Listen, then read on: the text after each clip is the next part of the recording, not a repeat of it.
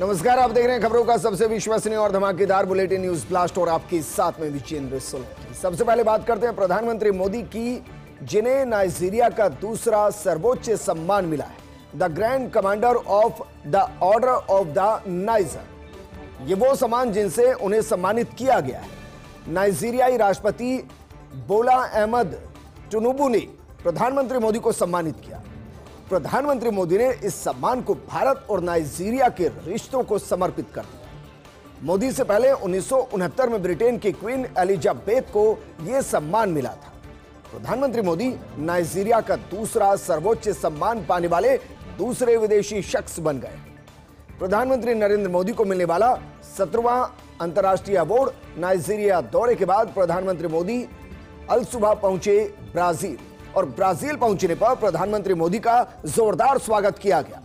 परंपरागत स्वागत ब्राज़ील के रियो डी जेनेरियो में जी ट्वेंटी शिखर सम्मेलन में प्रधानमंत्री मोदी शामिल होने गए हैं और इस दौरान माना जा रहा है कि शी जिनपिंग के साथ भी उनकी मुलाकात होगी और जिस तरीके से प्रधानमंत्री मोदी के नेतृत्व में वैश्विक स्तर पर भारत की पहचान न सिर्फ़ मज़बूत होती जा रही है, बल्कि वैश्विक परिप्रेक्ष्य में भारत अभी सेंटर ऑफ़ अट्रैक्शन या कहें कि पावर का केंद्र बिंदु बनता जा रहा है। वहीं महाराष्ट्र और झारखंड, यहाँ विधानसभा चुनाव का शोर थम चुका है महाराष्ट्र में। एक ही चरण के अंदर चुनाव होने, जबकि झारखंड में दो चरण में चुनाव होने, पहले चरण का चुनाव हो चुका है, दूसरे चरण के लिए विधानसभा चुनाव में प्रचार का शोर थम गया है। महाराष्ट्र में 20 नवंबर को सिर्फ़ एक फ़ेज़ के अंदर मतदान होगा और महाराष्ट्र की सभी दो सौ अठासी विधानसभा सीटों पर यह मतदान होगा। झारखंड में 20 नवंबर को दूसरे चरण के लिए वोटिंग होगी। शेष बची 38 विधानसभा सीटों पर झारखंड में वोट डाले जाएँगे 20 नवंबर को सुबह सात बजे से शाम छह बजे तक वोट डाले जाएँगे दोनों राज्यों में कुछ जगह संवेदनशील बूथों पर पाँच बजे तक वोटिंग होगी। हालाँकि छह बजे बाद भी मतदान केंद्र के अंदर मौजूद लोग वोटिंग कर सकते हैं। तेईस नवंबर को चुनावी नतीजे आएँगे और फ़र्स्ट इंडिया सबसे पहले आपको नतीजे बताएगा, लेकिन जिस तरीके से महाराष्ट्र में चुनावी जंग चल रही है।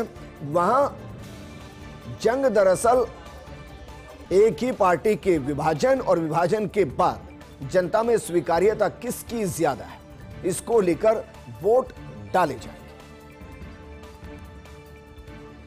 और बात करते हैं गुजरात की। गुजरात में सितंबर में हुई थी श्वेत क्रांति 2.0 की शुरुआत, और केंद्रीय गृह एवं सहकारिता मंत्री अमित शाह की नई पहल। डेयरी क्षेत्र से जुड़ी 36 लाख महिलाओं के लिए माइक्रो एटीएम तैयार किए गए। ये महिलाएँ करती हैं सालाना साठ हज़ार करोड़ का कारोबार। माइक्रो एटीएम के ज़रिए बैंकिंग सुविधा घर बैठे उपलब्ध होगी। महिला किसानों को बैंकिंग का प्रशिक्षण, उनके नाम से कारोबार, माइक्रो एटीएम के ज़रिए महिलाएँ आर्थिक रूप से आत्मनिर्भर हो रही हैं। सहकारी समितियों के आपसी सहयोग से महिला सशक्तिकरण गुजरात में एक मौन क्रांति से कम नहीं है। और गृह मंत्री अमित शाह का अभियान जिस तरीके से वहाँ महिलाओं को न सिर्फ़ आत्मनिर्भर कर रहा है, बल्कि एक वो माइक्रो लेवल से कारोबार को बढ़ा रहे हैं कि जहाँ हर घर में रोज़गार होगा। आप सोचिए जरा वो इलाका कितना संपन्न होगा। और वहीं अगर बैंकिंग सुविधाओं को भी घर बैठे ही तैयार कर दिया जाए तो इससे बेहतर कुछ नहीं। अब इसे आप श्वेत क्रांति कहिए। मौन क्रांति कहिए या फिर महिलाओं की आत्मनिर्भरता के साथ आर्थिक विकास के दर को आगे बढ़ाते हुए उनको सशक्त कर अपने पैरों पर खड़ा करना और परिवार को मज़बूत करना कहें, जो चाहे कहिए, अभियान अच्छा है। वहीं वजनलाल सरकार की पहली वर्षगांठ से पहले हो सकते हैं कई बड़े फैसले। कांग्रेस सरकार के आखिरी छह महीनों की लोक लुभावन स्कीमें बंद हो सकती हैं। रिव्यू के लिए बनी committee sub committee cabinet sub committee जल्द सीएम को सौंपेगी फाइनल रिपोर्ट। अब इसमें क्या क्या हो सकता है सोचिए सर इसमें महिलाओं को दिए जाने वाले फ्री स्मार्टफ़ोन, राशन किट योजना बंद हो सकती है। कांग्रेस राज के दौरान बनाए गए जिलों के रिव्यू का काम भी लगभग पूरा हो चुका है। और आधा दर्जन छोटे जिलों को बड़े जिलों में मर्ज करने की सिफारिश लगभग होना तय है। वहीं राजस्थान में वन स्टेट वन इलेक्शन को लेकर भी जल्द फैसला लिया जा सकता है। इसके अलावा एसआई भर्ती परीक्षा 2021 को रद्द करने या नहीं करने को लेकर भी फैसला हो सकता है। मजलाल सरकार में इन मुद्दों पर फैसले को लेकर अलग अलग स्तर पर काम हो रहा है। तो वहीं सब इंस्पेक्टर भर्ती परीक्षा 2021 पेपर लीक से जुड़ा प्रकरण और वर्तमान में ट्रेनिंग कर रहे एसआई से जुड़ा मामला। मामले में राजस्थान हाईकोर्ट ने दिए यथास्थिति के आदेश। जस्टिस समीर जैन की एकल पीठ ने आदेश दिए। अदालत ने अपने आदेश में कहा कि वर्तमान में प्रशिक्षण कर रहे एसआई की नहीं होगी पासिंग आउट परेड। याचिका के लंबित रहने के दौरान नहीं होगी passing out parade. Kailash Chandra Sharma और अनेक याचिका पर प्रारंभिक सुनवाई करते हुए ये आदेश दिए गए। और बात करते हैं जल संसाधन विभाग से जुड़ी बड़ी खबर की। सोम, कमला, अंबा बाँध से जुड़ी कैनाल टूट गई है और बाँध से करीब 16 किलोमीटर की दूरी पर कैनाल टूटी है। 30 किलोमीटर लंबी कैनाल भवराना क्षेत्र में टूटी है और जल संसाधन विभाग ने तीन दिन में कैनाल सही करने की बात कही है। कैनाल टूटने से 20 से ज़्यादा गाँवों को नहीं मिलेगा सिंचाई का पानी और हज़ारों किसान कैनाल के पानी से ही अपने खेतों में खेती करते हैं। कैनाल में छोड़ा जाता है 4.3 क्यूसेक पानी और कैनाल टूटने से करीब 2000 हेक्टेयर में नहीं हो सकेगी सिंचाई। और बात करते हैं जयपुर की, छोटी काशी की, पिंक सिटी की, गोविंद की नगरी की, जो अपना दो सौ स्थापना दिवस आज बड़ी धूमधाम से मना रही है। वेद, ज्योतिष और वास्तु का बेजोड़ संगम है गुलाबी नगरी। छोटी बड़ी रामगंज चौपड़ मार्ग बांटने को नहीं, बल्कि सरस्वती, महालक्ष्मी और महाकाली कुंड थे, जिसका सिद्ध जल पिलाया जाता था विद्वान, व्यापारी और योद्धाओं। जयपुर की छोटी चौपड़ कहलाती थी सरस्वती कुंड, और इसका विद्वानों और पुरोहितों को मिलता था पानी। बड़ी चौपड़ को माना जाता था महालक्ष्मी स्वरूपा। और इसके चलते बड़ी चौपड़ के आसपास बसाए गए जौहरी, स्वर्णकार और व्यापारी। लड़ाकू, सामंत और योद्धाओं को सप्लाई किया जाता था रामगंज चौपड़ का पानी। और बनावट देखिए सरा मंत्र मुग्ध कर देगी क्योंकि नवग्रह सिद्धांत पर पूरी की पूरी बनावट केंद्रित। इसके लिए चला नौ अंकों का गणित परकोटे को नौ चौकड़ियों में बांटने के साथ बनाए गए नौ बाज़ार। हर मार्ग, बाज़ार, रास्ते और गलियों की चौड़ाई का योग भी। कैसे? नौ, अठारह, सत्ताईस, छत्तीस, पैंतालीस, गज रहा। यानी कि नौ तो नौ है ही। अट्ठारह मतलब एक, जमा आठ, नौ। सत्ताईस दो जमा सात नौ। छत्तीस तीन जमा छ नौ। और पैंतालीस चार जमा पाँच नौ। और सोचिए इक्कीस ज़ोर में बसाई गई।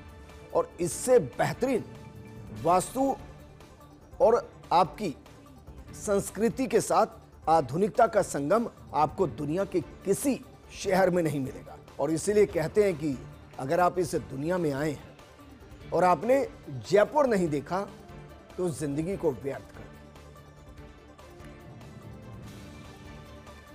तो जयपुर का दो सौ स्थापना दिवस है। वेद, ज्योतिष और वास्तु का जो बेजोड़ संगम गुलाबी नगरी के अंदर देखा जाता है, वैदिक विवेचना के साथ वास्तु की विवेचना से इसकी बसावट की गई। वास्तु से इसके कृति को नाम दिया गया मन सारा जैसे किसान खेत को जोतता है, वैसे गुलाबी शहर की बसावट जयपुर परकोटी की गलियाँ एक दूसरे को 90 डिग्री पर क्रॉस करती है। अब सोचिए जरा, किस किस तरीके से इसको बसाया गया है और कितनी बारीकी के साथ बसाया गया मोहन जोदाड़ो की बसावट की तरह मिलती है जयपुर की बसावट और शहर की बसावट में सबसे पहले पहाड़ पर विराजमान हुए गढ़ गणेश इसी सीध में आपको गोविंद देव जी का मंदिर, चंद्रमहल और एक सीध में त्रिपोलिया, पुर्तगाली ज्योतिष विशेषज्ञ जेवियर डी सिल्वा ने करवाया वैद्यशाला का निर्माण। इसके बाद नौ ग्रहों की तर्ज पर नौ चौकड़ियाँ जैसे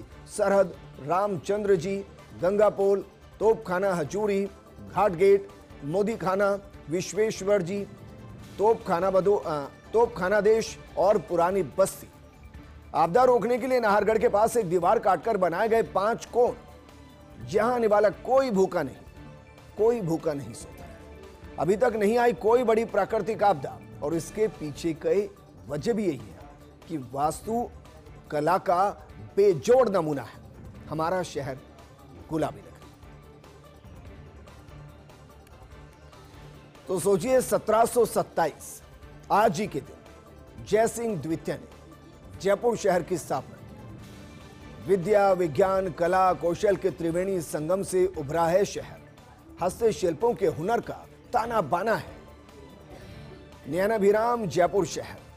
कभी चार दीवारी तक सीमित रहने वाला शहर बड़ी तेज़ी से फैल रहा है।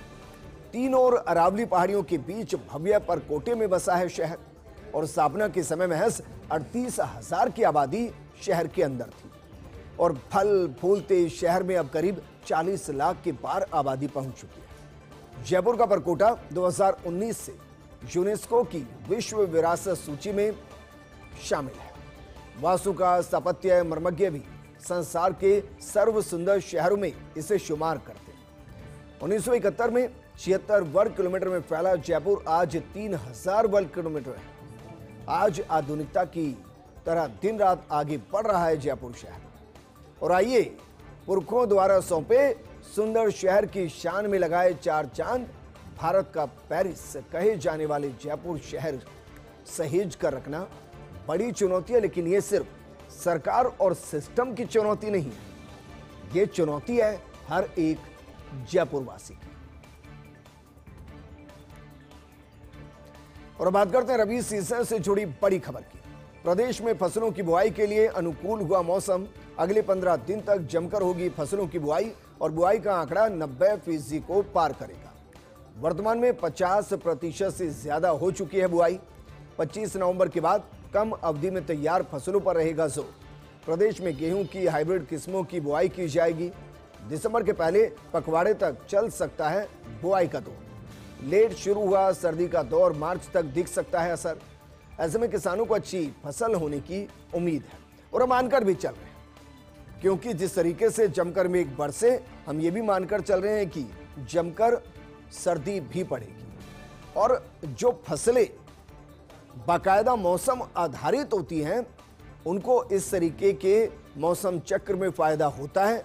बशर्ते जब फ़सल पककर खेतों में तैयार हो उस दौरान कोई प्राकृतिक आपदा ना आ जाए। और बात करते हैं जैसलमेर की, जहाँ प्रवासी गिद्धों की आवक शुरू हो गई है। ज़िले में कई जगहों पर गिद्धों ने अपना डेरा डाला है। दुनिया भर के ठंडे इलाकों से यहाँ पहुँचे हैं प्रवासी पक्षी, और अब तक 200 से ज़्यादा गिद्ध जैसलमेर पहुँच चुके हैं। आप अंदाज़ा लगा सकते हैं, हज़ारों किलोमीटर का सफ़र तय करके वो जैसलमेर पहुँचते हैं। और पक्षियों का कुनबा धोलिया, भादरिया गाँवों की औरण में ये प्रवासी गिद्ध पहुँचे हैं। साथ ही डीएनपी और फतेहगढ़ के देगराय औरण में भी ये गिद्ध नज़र आ रहे हैं। हिमालयन ग्रिफॉन गिद्ध के साथ ही यूरेशियन ग्रिफॉन और सिनेरियस वल्चर प्रजाति के गिद्धों ने जैसलमेर का रुख किया है। अब करीब चार महीने तक जैसलमेर में प्रवास करेंगे पक्षी। गर्मी के मौसम की शुरुआत के साथ ही ये वापस अपनी दुनिया को लौट जाएँगे। राजधानी में ट्रैफ़िक कंजेक्शन दूर करने के लिए एनएचआई की योजना 200 फीट से 14 नंबर तक। छह स्ट्रक्चर किए जाएँगे तैयार। चार लेन की जगह छह लेन के स्ट्रक्चर तैयार किए जाएँगे। अंडरपास के नीचे सीसी रोड की जाएगी तैयार। नींदड़ मोड़ पर एलिवेटेड रोड तैयार करने का भी प्रोजेक्ट है। 200 फीट रोड पर जंक्शन विकास का काम भी करेगा एनएचआई मानसरोवर से दिल्ली रोड की तरफ़ और दिल्ली रोड से मानसरोवर की तरफ़ बनाए जाएँगे अंडरपास जयपुर से अजमेर की तरफ़ और अजमेर से जयपुर की तरफ़। दो दो फ्लाईओवर और अंडरपास बनाए जाएँगे और इससे बहुत फ़ायदा होगा, क्योंकि दरअसल जयपुर के अंदर का एंट्री पॉइंट भी है और जयपुर से बाहर जाने का एग्जिट पॉइंट भी है। और इसलिए यहाँ भयंकर जाम लगता है और उससे जाम से निजात का तरीका यही है या तो अंडरपास बनाया जाए या फ्लाईओवर बनाया